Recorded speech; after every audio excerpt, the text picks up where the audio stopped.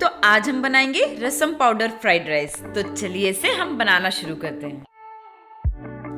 तो इसके लिए मैंने पैन पे दो बड़े चम्मच ऑयल ले लिया है और 10 से 12 काजू ले लिया है। हम इसे फ्राई करके इसे निकाल लेंगे।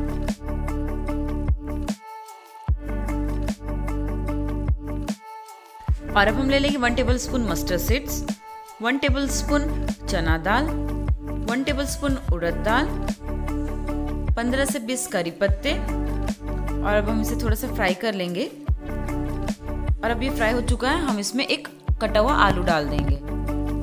और इसे भी टू टू थ्री मिनट्स के लिए फ्राई कर लेंगे। और अब टू टू थ्री मिनट्स हो चुके हैं, हम इसमें एक बारीक कटा हुआ प्याज डाल देंगे।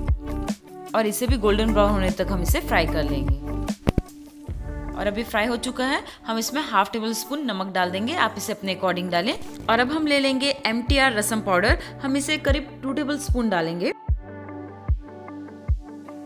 और इसे मिक्स कर लेंगे। और अब ये मिक्स हो चुका है। हम इसमें वन बोल पका हुआ राइस डाल देंगे। और इसे अच्छे तरीके से मिक्स कर लेंगे। और इसे टू मिनट्स के लिए और फ्राई होने देंगे। और अब टू मिनट्स हो चुके हैं, ये अच्छे से फ्राई हो चुके हैं और अब हम इसे काजू से गार्निश कर देंगे।